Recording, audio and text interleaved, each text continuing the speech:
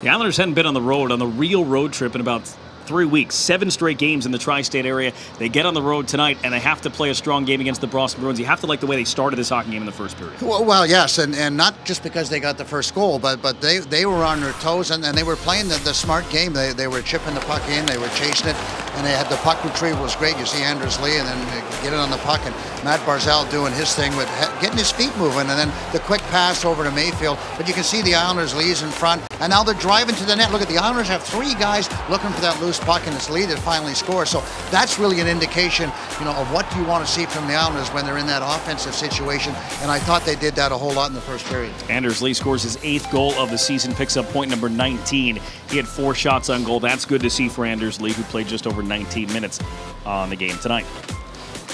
So a 1 0 lead for the Islanders after the first and in the second, uh, kind of a back and forth period, and it came down to special teams in the second period. Islanders' power play struggle continued. They had just one opportunity in the game, and on that second period, and then the Boston Bruins get their first power play and they make quick work of it. Yeah, and, and you know the special teams they, they shouldn't have played a battle and in, uh, made the difference tonight, but they did. Boston was able to score in a power play goal. Nice play by Passion, a cross ice dump was, and they won the race into the corner. And then the Islanders get a bad break as you know Cizikas goes out to block that Torey Krug and it bounces right off his leg, right onto Pastrnak. I mean, he's an all-star. He's an elite hockey player. And just look at the move. He's got his head up, takes it to his backhand, and that really creates the opportunity for, for Marchand to slap it into what I would call an empty net. So uh, power play goal, and that's all they needed to get themselves into the game. Fourth power play goal of the season for Marchand, who has eight on the season, and uh, or eight, excuse me, against the Islanders, seven on the season for Brad Marchand. Of course, Marchand and Pastrnak are playing without uh, Patrice Bergeron in this hockey game. Well, if you talk about this game, you have to talk about Robin Lehner, his performance uh, through regulation, through overtime, and in the shootout. There's not much more he could have done in this hockey game. He, he played tremendous, and, and watching the goal, and we talked about it during the game, is you know he, he, he looked like he was playing as a very confident individual. Uh, he, he, there wasn't a lot of movement to his game.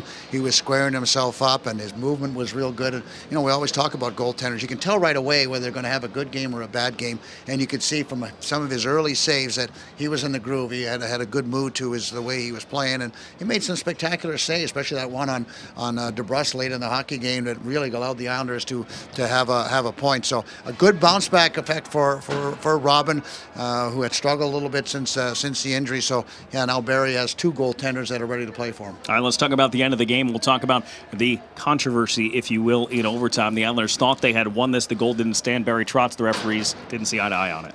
No, well, you never. You know, the, the, one coach is going to say it's a good call. The other coach is going to say it's not a very good call. But you know, Anthony Beauvillier goes in there, and DeBrusk is, is also there. So they, are colliding. And I, I, when I look at it, I, I wonder if, if Tuukka Rask could have made the save. And that's really the most important part. But here's where Tuukka Rask came up big. He makes a big save on a semi breakaway on Eberle, And then Matt Barzal clear and another reaching save by Tuukka Rask. So that was really the difference maker, is that the Isles couldn't score on the breakouts.